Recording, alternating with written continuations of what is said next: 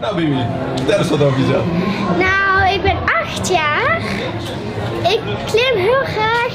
Ik zit in een kidsselectie en dat vind ik super leuk. Gaaf. En je hebt nou uh, meegedaan aan het uh, Nederlandse jeugdkampioenschap. Ja, Hoe ging het? goed. Kun je er wat meer over vertellen?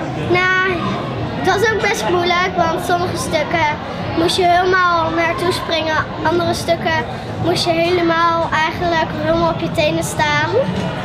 En dat was eigenlijk heel erg moeilijk. Bij, ja, voor mij was het een beetje moeilijk, want als ik naar beneden kwam, kwam ik op mijn heitje naar beneden.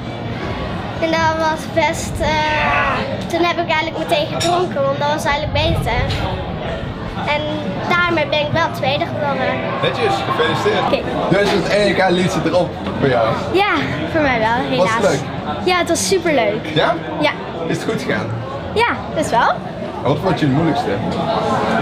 Ehm, het ademhalen tijdens de routens. Want ja, daar, als ik heel geconcentreerd ben, dan ja, vergeet ik zo, een soort van goed adem te halen. En uh, hoeveelste ben je geworden uiteindelijk? Ik ben eerste. Ben je eerste geworden? Ja. Dus jij bent gewoon onze nieuwe Nederlandse kampioen. Ja. Gefeliciteerd. Bedankt.